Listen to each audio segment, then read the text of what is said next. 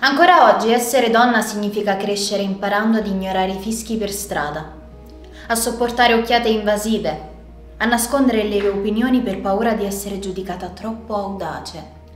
Ancora oggi agli uomini viene insegnato ad essere dominanti, a dimostrare la propria forza e nascondere le fragilità. Un'educazione che ha portato ad avere oltre 100 vittime di femminicidio all'anno in Italia. Basta con questa catena di violenza e sopraffazione.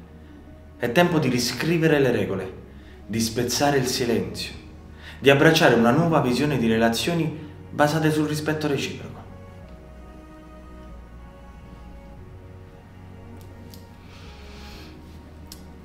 A te, donna che soffri in silenzio, a te che nascondi il dolore dietro a un sorriso, sappi che sei preziosa, meriti amore, rispetto e una vita libera dalla violenza.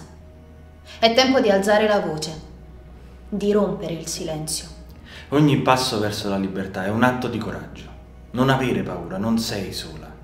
I centri antiviolenza del comune di Napoli troverai una mano amica, un ascolto sincero, un supporto. Fai sentire la tua voce. La libertà e il cambiamento iniziano con il coraggio di parlare e chiedere aiuto.